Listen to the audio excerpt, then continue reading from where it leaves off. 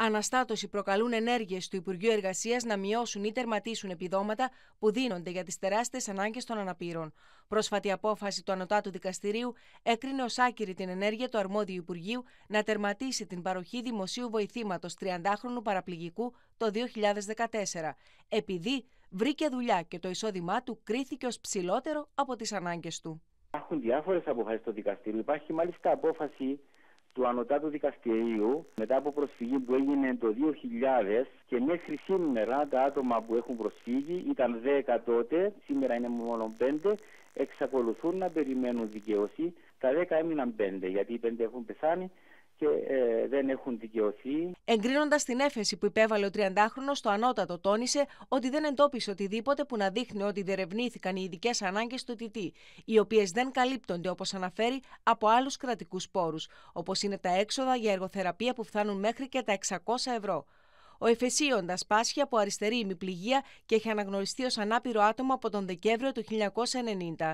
Θεωρούμε ότι το κράτος θα πρέπει να συμμορφωθεί με τις αποφάσεις αυτές, κάτι που δεν γίνεται. Υπάρχουν αποφάσεις αναφορικά με τα ηλικιακά κριτήρια για τα άτομα με αναπηρίες, όπου δεν συμμορφώθηκε και μάλιστα μετά την μεταπίδηση στο ελάχιστο εγγυημένο εισόδημα, θεωρεί το κράτος μας ότι ε, δεν παρέχεται δημοσίου βοήθημα πια, γι' αυτό και δεν τις υιοθετεί.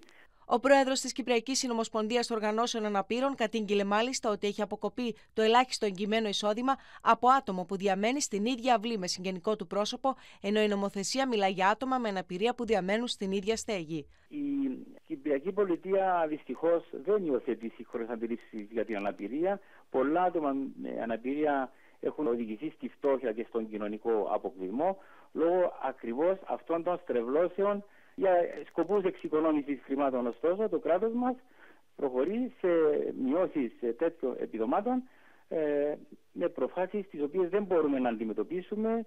Συναντούμε ένα τεράστιο τείχος μπροστά από τις υπηρεσίες του ΕΕ. Ο κύριος Νικολαίδης τόνισε πως η Συνομοσπονδία είναι κάθετη ενάντια στα εισοδηματικά κριτήρια όταν πρόκειται για παροχή υποστήριξης φροντίδας για άτομα με αναπηρίες.